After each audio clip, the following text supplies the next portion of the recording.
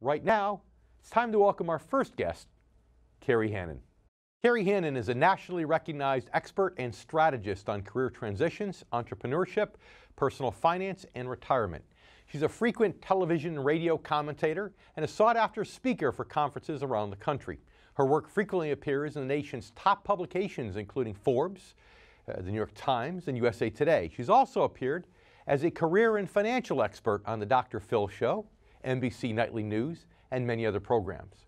Her best selling books include Love Your Job, The New Rules for Career and Happiness, and Great Jobs for Everyone 50 Plus Finding Work That Keeps You Happy and Healthy and Pays the Bills. Kerry, welcome to the show. Lovely to be here. Thanks for the invitation. Of course. You know, you've been quoted as saying that, you know, we should retire the word retire. What makes you say that?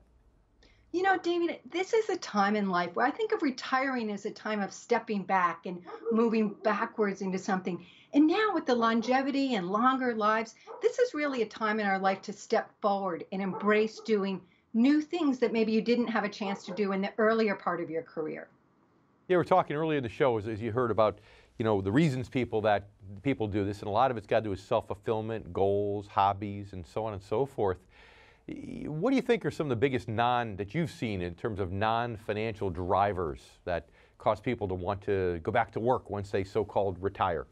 Oh, oh my gosh, the biggest thing is the social engagement. I swear, when people step mm. away from the workforce, they go into a depression, they grieve their old job, their old identity, and this is an opportunity to really, you know, stay active, be part of a community. And actually, as you just mentioned, it's a great opportunity to get involved with people who are doing something that's meaningful and meaningful to you and maybe making a difference in the world as well. Tell us a little bit about this thing that's called your fitness program.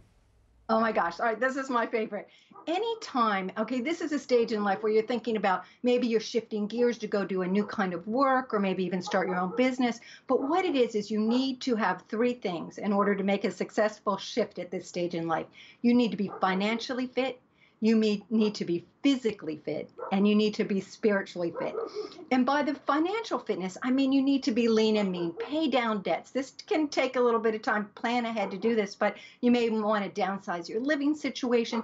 Anything you can do, start with doing a budget of where you can trim back, but anything you can do so that you can be lean and have it gives you opportunities because debt is a dream killer. Mm. Debt is really the money is the number one stumbling block to people trying to find work that means something to them in this stage in life physically fit, I'm not going to sugarcoat it. Ageism is alive and well in the workforce. And if you can be physically fit, it's better than Botox. You're giving off this energy, this vibe, this can do spirit. And employers don't know what that is, but they want it. They want to be around you. People like being around you. And spiritually fit, I don't mean woo woo religion. I'm talking about having a place of ballast in your life where you can be centered because making change can be really stressful. Now, people always say they feel mentally sharper when they're back to work, they feel physically sharper. Have you seen any studies, quantified studies, that back that up other than just how people feel?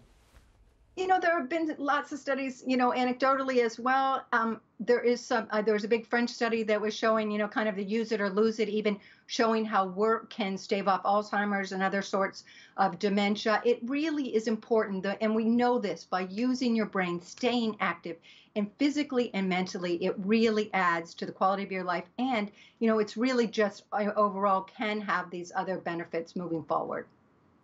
So we're going to take a commercial break. As soon as we come back, we're going to talk to you about some of the mistakes that people over age 50 make, whether the mistakes they make that force them to work later in life, or the mistakes they, they make when they're actually looking for work or they're trying to stay active later in life. So stay with us, Kerry, please. And you stay with us too. We have much more from Kerry Hannon right here on the Income Generation.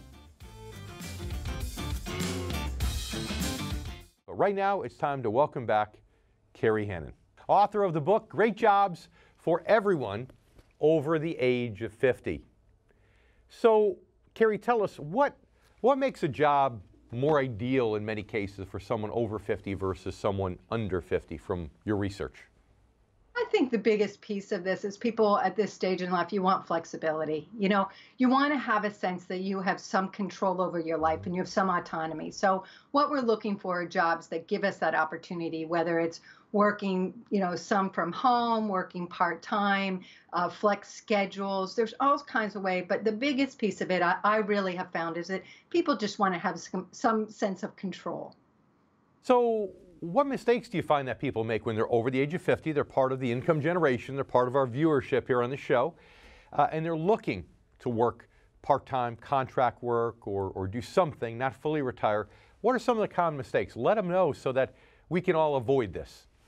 Well, the, the biggest mistake, David, is people try to replicate their old job you know and so don't get stuck in a moment. You need to move forward. Think of ways you can redeploy your existing mm-hmm. skills into a new arena a new field and and be open about salary. People get stuck on how much they have to earn and they get so insulted by the salaries get over it. Think about what it is that you really want to do and look at ways to find value around the edges. You know you can negotiate for that flexibility we just talked about. You might you know have more vacation time. They want to have a certain salary and a certain title. These are not important at this stage in life. You've done that. And also they think they're going to have a linear job as we had before. This is a time in life where you're going to, I think of it like a patchwork quilt, which is really fun. You might do a little of this, a little of that, do this for a short time and switch to doing something else, or do several things at the same time. So, you know, open up, open yourself up in your thinking, and you must, they get stuck flatline intellectually. You've got to stay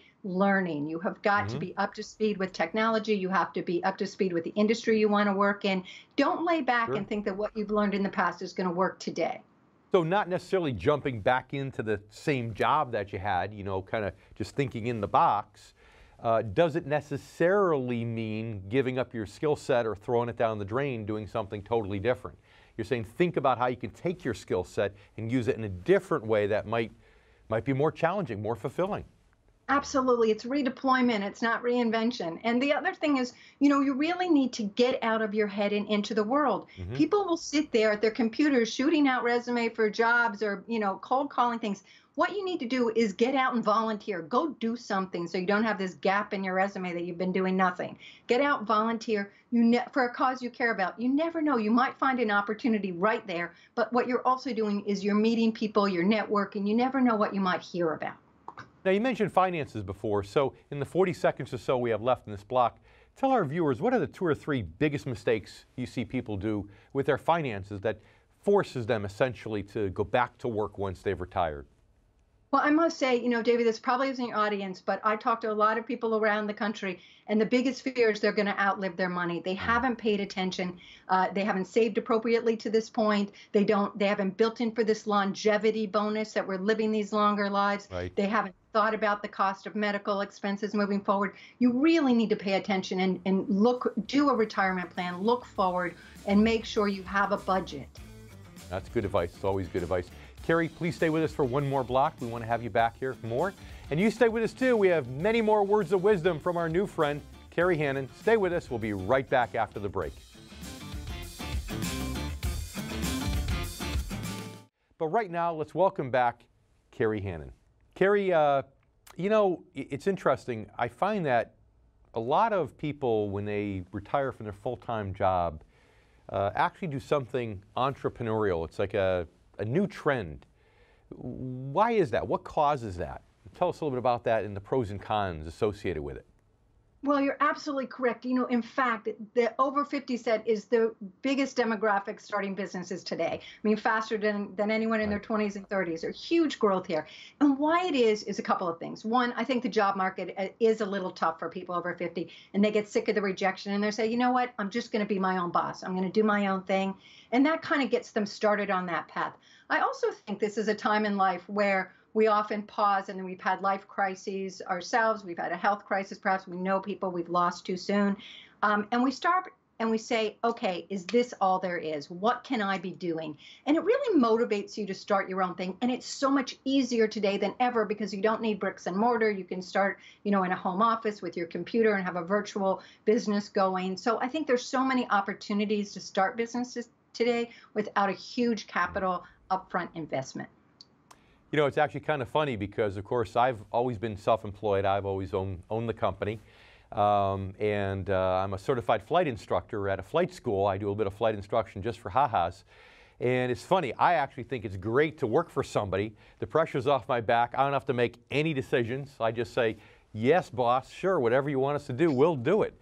Um, but you know, for many, it's the opposite. Many people have worked with somebody have for their entire lives have not made all those operational decisions and now they get to retirement and I think they want to be their own boss they they want to be able to control their own legacy are you finding that that's a big motivation also for entrepreneurship 100%. You know, it really is controlling your own destiny and your legacy. And it's your chance. You may have had something you've always had this burning desire to do since you were young, or maybe it's a passion that's developed over the years. But these are really your years that if you've saved appropriately and you can do it financially, that a lot of people say, let me give it a shot, you know, and it doesn't have to be all or nothing. And I tell everyone, no rash moves. Go slowly. This is, mm. you know, any successful uh, entrepreneur I've talked to has take, taken three to five years to kind of build out their plan, to apprentice in moonlight, to do their research, to find mentors, do a good business plan. This does not happen overnight. So it's a process and enjoy the ride. So, have you seen any statistics of, of success rates of businesses owned by people over 50 versus started under the age of 50? Any such statistics that give our viewers hope that all their real life experience and common sense could maybe increase their chance of success as an entrepreneur? It is so true because I think it is, and actually, you know, the seniors actually actually have, you know, more capital to get started with a business and a better network and so forth. And yes, in fact, I don't have the exact number at the top of my head, but I will say that SCORE, uh, the Small Business Administration, has had has done research on this, and you know, the average business has like a five-year run, right? But with the um, with the senior starting businesses, their longevity of the businesses are growing. And it's because of this practical, it's not that they're risk averse, it's this practical approach to starting a business. It's not taking a flyer on something, it's a slow, methodical process. And yep. it's also something uh, that I think is interesting, and maybe we'll talk a little more about is there's often a pairing up with a younger sure. entrepreneur with an older and entrepreneur. Terry, unfortunately, we're out of time. We need to leave it there. Kerry Hannon, author of Great Jobs for Everyone Over the Age of 50. We'll be right back here on the Income Generation.